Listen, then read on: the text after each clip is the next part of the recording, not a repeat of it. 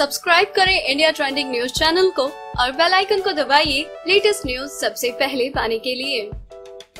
भारत के 12 मिराज 2000 जेट ने पाकिस्तान में हज़ार किलो के बम गिराए हैं।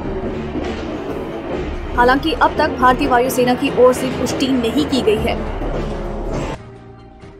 सूत्रों के आधार पर कहा जा रहा है कि मिराज फाइटर जेट ने पाकिस्तान के आतंकी कैंपों को तबाह कर दिया है। पाकिस्तान की सेना ने खुद इस बात को स्वीकारा है कि भारत के विमान सीमा पार कर पाकिस्तानी क्षेत्र में घुसे।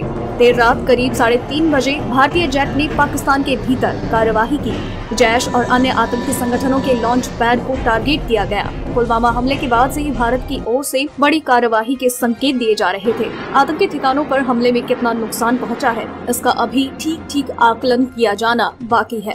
कश्मीर में एल पर तनाव की स्थिति हो रही है। एयरफोर्स बेस में हाई एक्टिविटी देखी जा रही है। अभी ये देखना होगा, पाकिस्तान इस कार्यवाही का किस तरह जवाब देता है।